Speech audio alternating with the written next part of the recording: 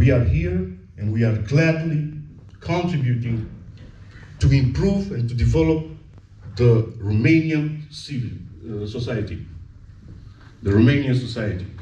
And we are doing this.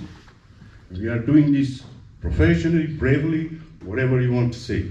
And if you not believe me, here is Alina Șerban, one of the greatest actresses Romania has.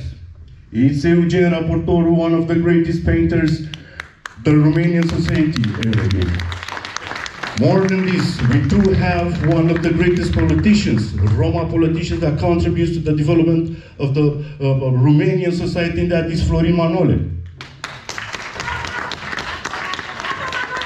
These are, these are only here, the guys who are here in this room. But we have our brothers and sisters who, and we also have Ciprian Necula, by the way. but we have our brothers and sisters and communities that are facing daily challenges, and this year is the election year, where they are going to show their power and our ambitions as a nation throughout this election year. Not only fighting the far right, but also proving themselves as a citizens. So thank you for this. Thank you to all of you, uh, in part for being here and always responding to our invitations. God bless. Thank you, Ali.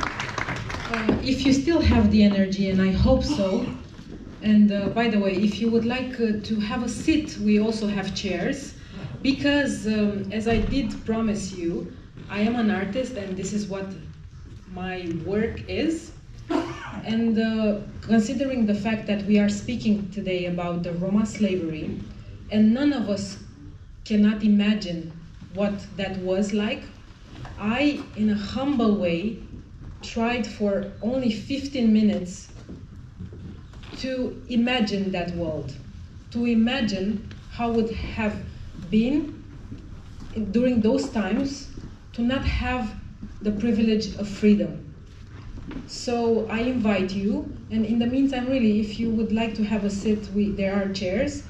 Uh, there will be a film which is called Letter of Forgiveness.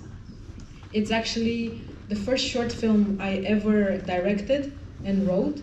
I have to say, it was almost impossible until it became possible. Um, in the business of uh, filmmaking, nobody would believe of a beginner uh, that wants to make a historical short film. Believe me, this is not a good plan for business. So therefore, I could not wait for people to believe. So I had to produce it. And I went to different allies that believed in this idea too, in this impossible idea.